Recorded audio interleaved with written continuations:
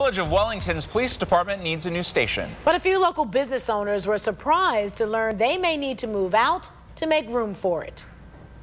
Being transparent, you know, and honest is probably a good way to do business. And this is just the opposite of that.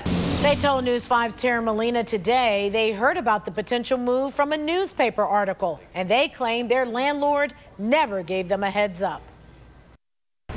At least one of these Wellington small business owners said this is already hurting business because of the confusion.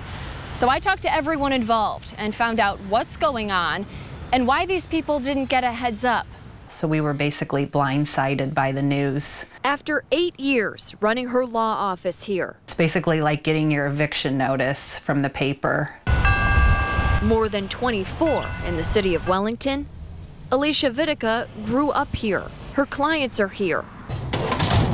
She has roots here, but told me she doesn't feel she was treated that way. We were not informed by the landlord or the village in any way at all. Yes, she and the accountant she shares this office space with found out the village made plans for a potential new police station here that would displace them and their businesses from a local paper.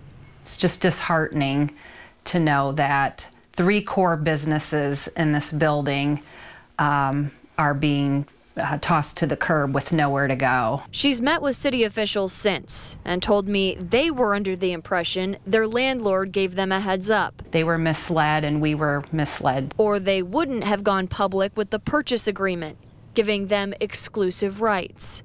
But Why do you think it's a good idea to displace businesses that have been in your community for three or three decades? I took that question to Mayor Hans Schneider. and we're going to aid them and, and work with them to ensure that they stay here in this community. He explained the building has been for sale for years and is their best option, both financially and logistically. That building has been sale for a number of years and that uh, they were aware of it. They have acknowledged that they were aware of it. Plans and that purchase agreement have been made, but this isn't a done deal yet. Uh, right now, we are focused on the election on November 6th. There will be an income tax increase on the ballot in November that would help pay for the new station they want to put here. So, will the move and the new police station only happen if the levy passes?